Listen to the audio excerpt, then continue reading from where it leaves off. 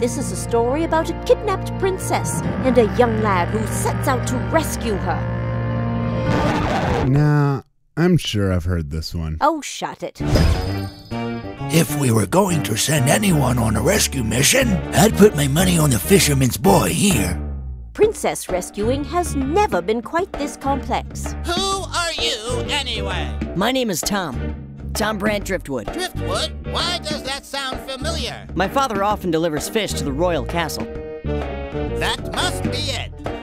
As Tom the fisherman's son gets started, he quickly realizes that he needs to rely heavily on the villagers' goodwill and belongings.